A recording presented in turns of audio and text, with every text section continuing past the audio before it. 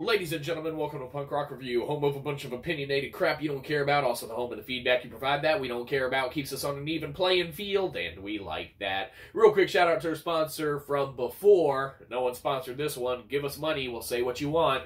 Uh, but of course, uh, someone had asked us to uh, check out a little more Guttermouth in the future, so of course we did, and now we'll talk about some more of it now. Of course, we've loved these dudes for a good long while, man. Met them way back in the day. Do they know us or remember us? Hell no.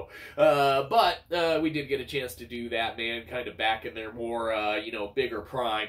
Uh, and of course, uh, Guttermouth's just great, man. Good old rock and roll guys. Uh, and of course, the album we're talking about today is Got It Made. And it's classic Guttermouth, man. The guitars, the vocals, uh, you know, just the sounds in general. Uh, if you hear it and you know Guttermouth, it's like, oh, shit, that's Guttermouth.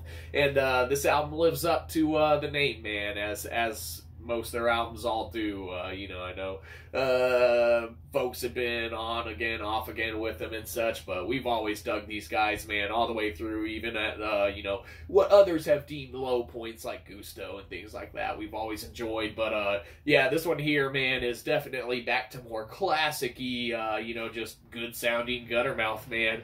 Uh, Got It Made is a good album, definitely worth checking out, should you choose to. If not, no one cares.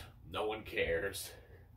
Maybe people need to care more or less. Maybe people need to just give us money.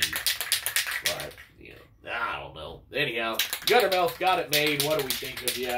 Well, if this was you